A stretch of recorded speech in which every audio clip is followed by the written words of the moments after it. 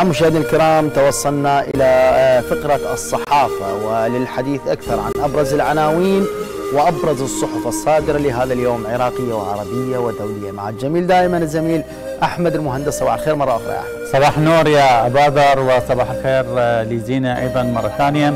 مشاهدينا اليوم هو الاثنين الحادي والثلاثين من تشرين الأول لعام 2022 للميلاد. سوف نتصفح معكم أبرز العناوين والأخبار في الصحف المحلية والعربية والدولية. والبداية من الصباح الصادرة عن شبكة الإعلام العراقي ونطالع في صفحتها الأولى العناوين الأبرز التالية. دعم خارجي وتأييد داخلي لإنجاح حكومة السوداني وأيضا نطالع من ضمن الأخبار اليوم رئيس الجمهورية يصل إلى الجزائر للمشاركة بالقمة العربية. ومن ضمن الأخبار أيضا نطالعه معهد عالمي يحذر الوضع المائي العراقي صعب. ومن هذا الخبر إلى خبر آخر. الإهمال وغياب إجراءات السلامة يتسببان بحادث البنوك المروع وآخر ما نطالعه من عناوين في الصباح وزيرة المالية العراقية طيف سامي تقول أولوياتنا تقديم موازنة 2023 ومن هذه العناوين إلى الأخبار وأبرز الأخبار في الصفحة الأولى من الصباح. دعم خارجي وتأييد داخلي لإنجاح حكومة السوداني دعا مراقبون للشأن السياسي وأعضاء بمجلس النواب الكتل السياسية إلى دعم رئيس الوزراء محمد الشيع السوداني في خطواته باتجاه الإصلاح واستثمار الدعم الدولي والإقليمي والداخلي لحكومته. داعين إلى استثمار الطاقات والخبرات والكفاءات القادرة على إنجاح العمل في مؤسسات الدولة. وقال عضو ائتلاف النصر عقيل الرديني في حديث للصباح إن حكومة رئيس الوزراء محمد الشيع السوداني لاقت دعما دوليا وإقليميا وداخليا وهناك إصرار وعزيمة على نجاح الحكومة مبينا أن هناك جوانب إيجابية يمكن أن يجري تطويرها كما أن هناك أخرى سلبية ينبغي علاجها في المرحلة المقبلة. وأضاف أن من أهم الأمور التي كسبتها حكومة هو الدعم الدولي والإقليمي الداخلي وكذلك وجود سيولة نقدية تمكن الحكومة من أن تشرع أو تشرع بإقرار الموازنة وإكمال المشاريع المهمة في مجال الصناعة والزراعة والخدمات. أما أبرز العقبات فهو انتشار السلاح المنفلت والجفاف الذي ضرب العراق في السنوات الماضية والقطاع الزراعي الذي يعاني جراء ذلك.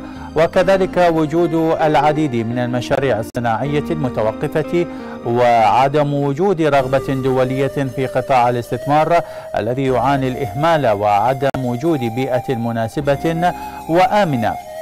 وإن تحقق هذا الشيء فستأتي الشركات العالمية للاستثمار في عدة مجالات.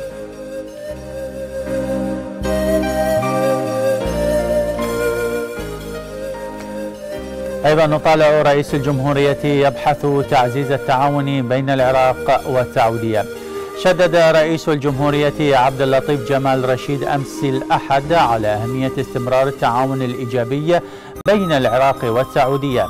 في حين أكد رشيد رغبة العراق في الارتقاء بمستوى العلاقات الثنائية مع الهند. وذكر بيان رئاسي أن رئيس الجمهورية استقبل السفير السعودي لدى العراق عبد العزيز الشمري الذي هنأ بمناسبة تسنمه منصب رئيس الجمهورية مبينا أن السفير السعودي عبر لرئيس الجمهورية عن أمنياته بالنجاح والتوفيق في أداء مهام منصبه وبما يخدم تعضيد العلاقات بين البلدين. وأكد رشيد بحسب البيان عمق علاقات الأخوة التاريخية التي تربط العراق والسعودية. لافتا إلى أهمية استمرار التعاون الإيجابي وتعزيزه على مختلف الصعد لتشمل جميع المجالات وبما يخدم تطلعات الشعبين الشقيقين في غضون ذلك تسلم رئيس الجمهورية رسالة تهنئة من رئيسة جمهورية الهند دروبادي مورو.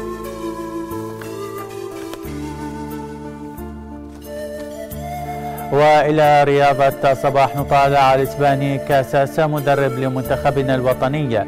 تعاقد الاتحاد المركزي لكرة القدم مع المدرب الإسباني خيسوس كاساس البالغ من العمر 49 عاما للإشراف على تدريب منتخبنا الوطني لأربع سنوات تخضع سنويا لمناقشة خلال الاستحقاقات المقبلة.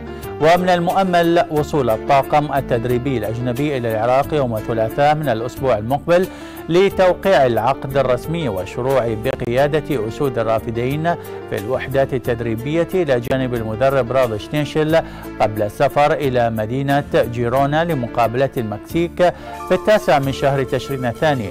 وبعدها بثلاثة أيام أمام الإكوادور في العاصمة مدريد وعلمت الصباح الرياضي من مصدر مطلع في اتحاد اللعبة أن المفاوضات مع المدرب الإسباني خيسيوس كاساس استمرت لمدة ثلاثة أيام عبر المنصة الإلكترونية بإشراف مباشر من رئيس الاتحاد عدنان درجال الذي تلقى تقريرا فنيا شاملا من نظيره الإسباني لويس مانويل.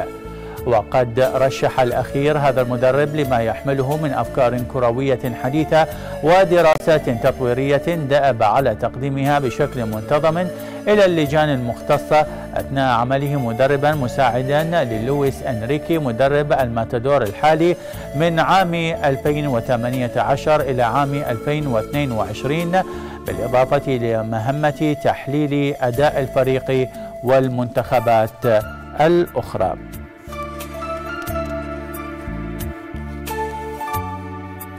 وإلى أخيرة صباح نطالع 178 شخصا يتشاركون اسم هيرو كازو تاناكا. يصعب لأي كان تذكر أسماء جميع الأشخاص الذين يقابلهم في الحفلات. لكن ذلك لم يكن الحال في طوكيو حيث كان المدعوون ال 178 يحملون جميعا اسم هيرو كازو تاناكا.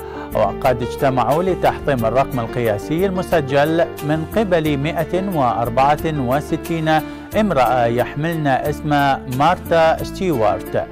فمن ومن هيرو كازو تاناناكا البالغ ثلاث سنوات إلى رجل ثمانيني يحمل الاسم عينه أتى من هانوي ارتدى جميع المشاركين في الحفلة قميصا يحمل اسمهم المشترك وجلسوا في مسرح مزدحم لمدة خمس دقائق بحسب قواعد موسوعة جينيس قبل أن يعلن مسؤول في المنظمة رسميا تسجيل الرقم القياسي جديد. وقال هيرو كازو البالغ من العمر 53 عاما القائم على هذا التجمع بعد سنوات من الجهود والإخفاقات لم أتوقع قط أن نحطم مثل هذا الرقم القياسي السخيف. ولتمييز 178 شخصا يتشاركون اسم هيرو كازو أسند لكل منهم اسم مستعار مستوحى من هواياتهم أو مهنتهم أو طبقهم المفضل. وكان الرقم القياسي العالمي لأكبر تجمع لأشخاص يحملون الاسم والشهرة نفسها. قد سجلته سابقا 164 امرأة يحملن اسم مارتو مارتا ستيوارت. اجتمعنا في إطار برنامج تلفزيوني في نيويورك عام 2005 وخطرت فكرة تحقيق مثل هذا الرقم القياسي على بال القائم عليها عام 94 و900 وألف للميلاد عندما سمع في الأخبار اسم لاعب البيسبول هيرو كازو وشعر بالفرح ليتشارك الاسم عينه وفشلت محاولة تحطيم الرقم القياسي مرتين لا سيما عام 2017 عندما التقى 87 شخصا من أصحاب هذا الاسم وإلى صفحة آراء واخترنا لكم مقالا بعنوان طقوس ريشي سوناك للكاتب حمزة مصطفى بصوت الزميلة بشرى حسين.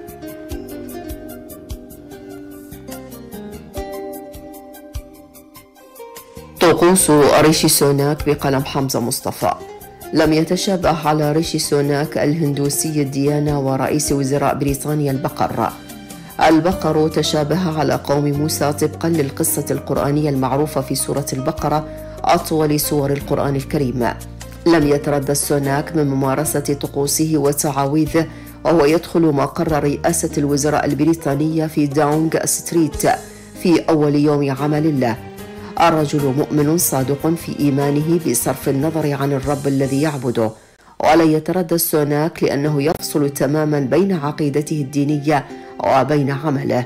ويضيف الكاتب لذلك تخطى البريطانيون هذه العقدة التي لا تزال تحكم نظرتنا إلى الآخر مع أن الإمام علي بن أبي طالب عليه السلام حسم الموقف قبل كل أصحاب الأفكار والفلسفات والأدلوجيات والأديان حين قال الناس صنفان إما أخ لك في الدين أو نظير لك في الخلق.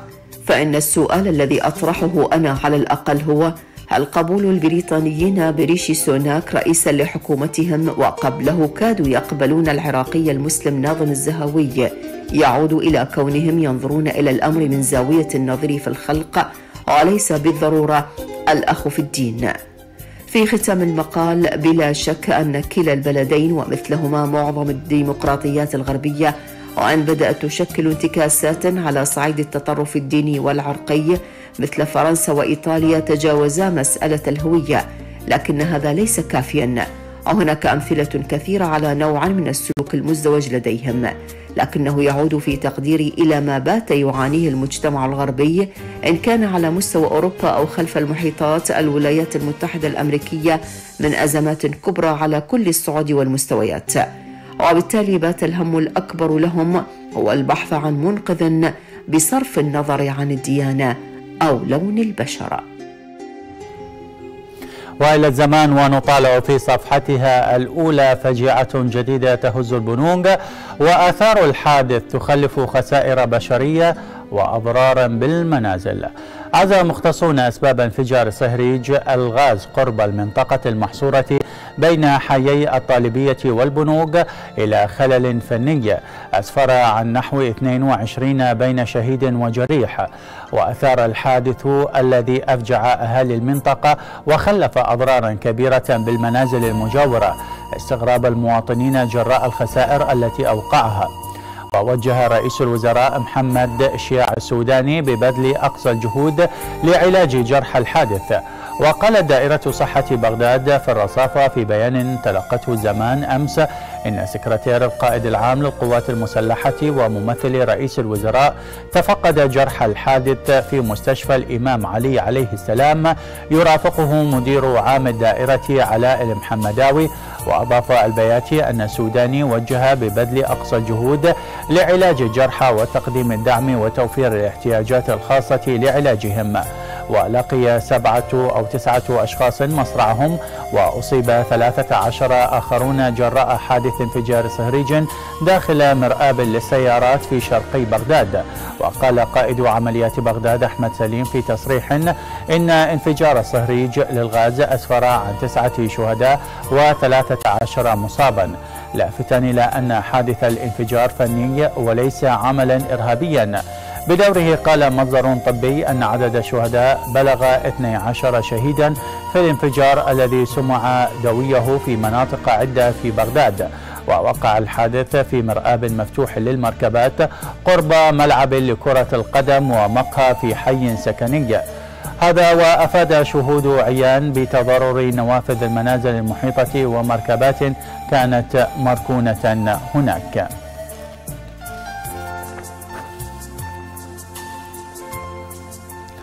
الصقور والنوارس تحققان الفوز في الدور الممتاز.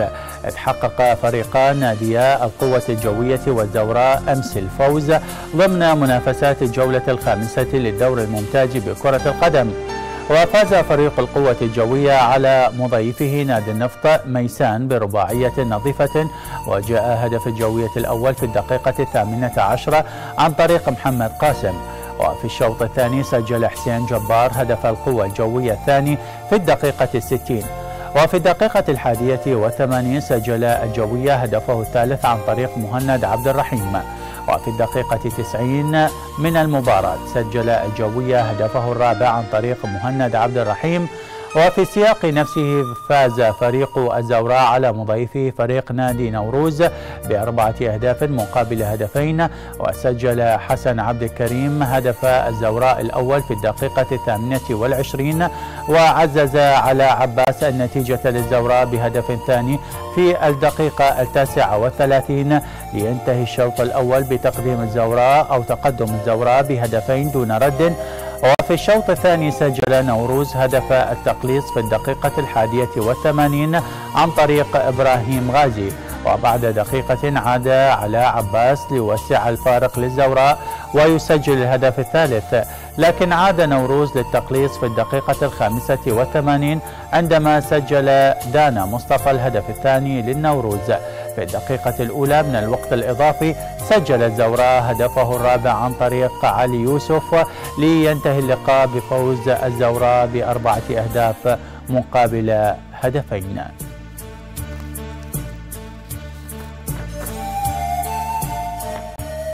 وفي أخيرة الزمان نطالع الوداع الأخير للقامة الفنية فيصل الياسري إذ شيعت أمس الأحد الأوساط الفنية المخرج الرائد فيصل الياسري وانطلق موكب التشييع من مبنى نقابة الفنانين العراقيين في شارع الرشيد ببغداد بحضور ذويه الفنانة هند كامل ونجليه أكرم وديار وعميد السادة الياسريين وأخوته وأقاربه ونجوم الفن.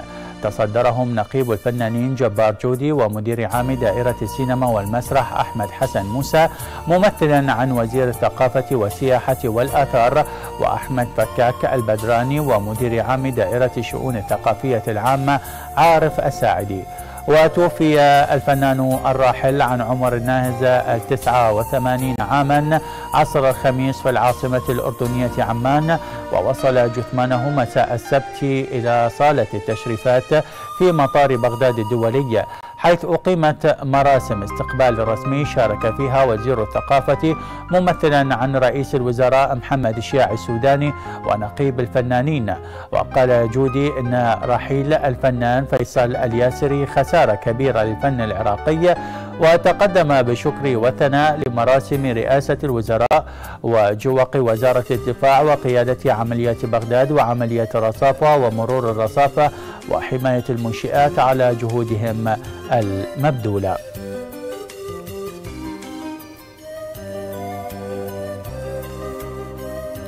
ومن الزمان ننتقل وإياكم إلى الزوراء العراقية ونطالع فيها مختصون من الصعب تشريع موازنة 2023 وتغيير سعر صرف الدولار. استبعد مختصون في الشأن الاقتصادي تشريع قانون موازنة عام 2023 قبل نهاية العام الحالي. وفيما رجحوا تقديم الحكومة موازنة مؤقتة لثلاثة أشهر أو أكثر. أكدوا أن تغيير سعر صرف الدولار مقابل الدينار العراقي من صلاحية البنك المركزي حصرا. وقال عضو اللجنة المالية السابق أحمد الصفار في حديث للزوراء إنه من المستحيل تقديم الحكومة موازنة عام 2023 وتشريعها داخل البرلمان قبل نهاية العام الحالي لأن السنة الحالية شارفت على الانتهاء ولم يبقى سوى شهران فمن الصعب تشريع الموازنة. وأضاف عادة الحكومة تقوم بعملية إعداد الموازنة من الشهر السادس إلى الشهر العاشر تقريباً. العملية تستغرق أربعة أشهر لكي يتم تحويلها إلى البرلمان وحوالي شهرين تأخذ وقتا للمناقشة في البرلمان لغرض دراسة المشروع وتحويله إلى قانون فلذلك يحتاج على الأقل ستة أشهر إلى سبعة أشهر. مبينا أنه نلاحظ في كل عام الموازنة يتأخر إقرارها إلى الشهر الثالث أو الرابع فمن المستحيل أن تقوم الحكومة بتقديم موازنة كاملة لسنة وأوضح ممكن الحكومة أن تقدم موازنة مؤقتة لشهرين أو ثلاثة أشهر وهذه واردة في النظرية المالية العامة. لكن في حال بدأت الحكومة بإعداد موازنة العام المقبل ستتأخر إلى الشهر الثالث أو الرابع من العام المقبل. وحول مطالبات الحكومة بتخفيض سعر الدولار قال صفار إن تغير سعر صرف الدولار مقابل الدينار هو من صلاحية البنك المركزي فلا الحكومة ولا مجلس النواب من حقهم التدخل في السياسة النقدية لأي بنك مركزي مستقل.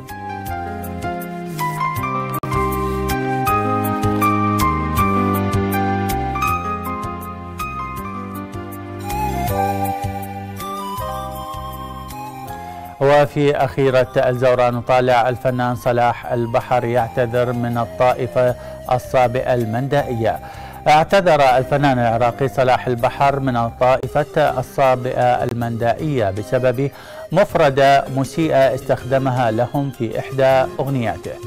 وفي التفاصيل أن البحر استخدم في أغنيته جملة في إشارة إلى أن الصابئة يمتهنون السحر.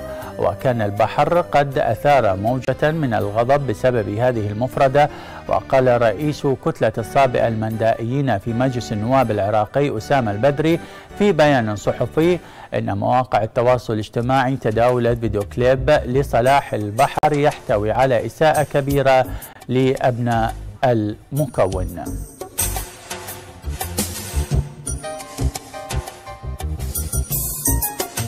وقبل الختام ننتقل وإياكم إلى كاريكاتير.